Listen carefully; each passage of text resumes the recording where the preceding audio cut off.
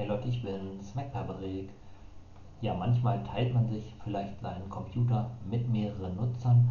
Man hat natürlich die Möglichkeit, Unterkonten anzulegen, aber vielleicht reicht es auch, wenn man einige Daten und Ordner verstecken kann. Und genau das möchte ich euch zeigen, wie das unter Windows 10 funktioniert, wie man eben Dateien ja, unsichtbar machen kann, dass diese nicht gefunden werden, nur wenn man selber weiß, wo diese sind.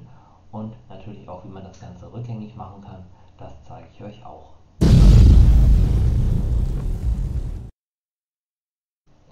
So, bevor ich euch das jetzt kurz zeige, möchte ich noch kurz was in eigener Sache sagen. Und zwar werden meine Videos mittlerweile von vielen Zuschauern geschaut. Allerdings sind die meisten noch keine Abonnenten. Das heißt, wenn ihr mich unterstützen wollt, weiterhin kostenfreien Content zu machen, würde ich mich über ein Abo freuen. So, jetzt zum Thema. Hier könnt ihr einmal alte YouTube-Videos sehen, die ich eigentlich nicht verstecken müsste, aber die ich einfach mal verstecke, das zu zeigen. So, ich klicke hier mit, dem rechten, mit der rechten Maustaste auf den Ordner, gehe auf die Eigenschaften, sage verstecken, sage übernehmen, entscheide mich jetzt immer für den zweiten Punkt, weil dann auch die Unterordner mit versteckt werden.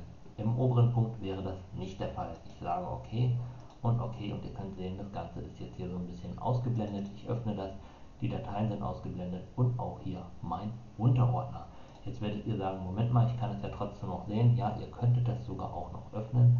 Ihr müsst noch einen weiteren Schritt machen, damit dann das auch nicht gesehen wird.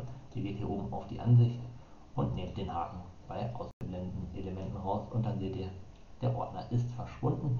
Ihr könnt das Ganze natürlich auch wieder rückgängig machen, indem ihr hier natürlich den Haken dann wieder sendet, äh, reinmacht, damit ihr das seht.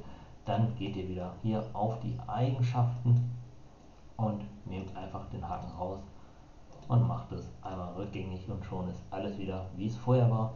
Ja, ich hoffe, diese kleine Anleitung hat euch gefallen. Wenn ja, gebt mir einen Daumen nach oben. Wie gesagt, über ein Abo freue ich mich auch. In dem Sinne, bis dann, euer MacPav.